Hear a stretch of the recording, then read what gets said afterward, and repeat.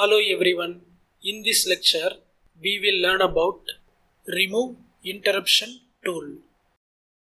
This tool removes interruptions which are created on the extension lines of dimensions. Here we have a drawing with interruption.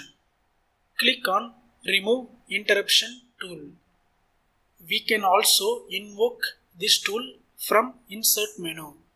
Go to insert menu, select dimensioning, select dimension edition, click on remove interruption.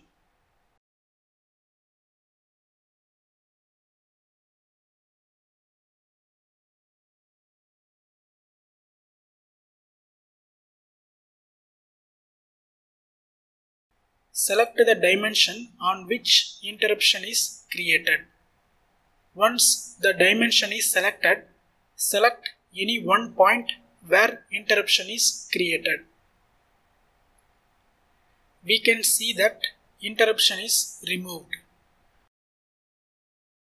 We can also remove the interruption using contextual menu.